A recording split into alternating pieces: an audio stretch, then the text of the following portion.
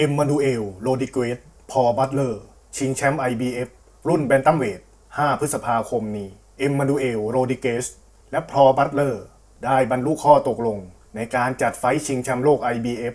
รุ่นแบนตัมเวทที่ว่างอยู่ ในวันที่ 5 พฤษภาคมนี้แล้ว โดยการชก O2 Arena ประเทศอังกฤษ ในรายการเดียวกับไฟต์ rematch ระหว่างโทนี่เบลลิว กับเดวิดเฮย์ เอ็มมานูเอล โรดริเกซปัจจุบันมีอายุ 25 ปี มีสถิติการชก 17 ไฟต์ ชนะทั้ง 17 ไฟต์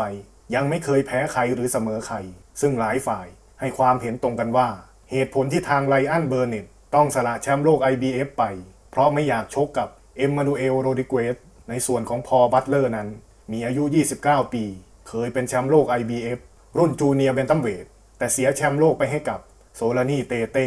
ซึ่งไฟต์นั้นเป็นไฟต์เดียวที่เขาแพ้ในการชกมวยสากลอาชีพ จริง ๆ แล้ว เอ็มมานูเอลโรดริเกซและพอล บัตเลอร์ ต้องทำการประมูลไฟต์กัน ตั้งแต่วันที่ 3 เมษายนที่ผ่านมา แต่ทาง IBF ได้ยืดระยะเวลาในการเจรจาให้เป็นกรณีพิเศษ เพราะเห็นว่าการเจรจาใกล้จะเสร็จสมบูรณ์แล้ว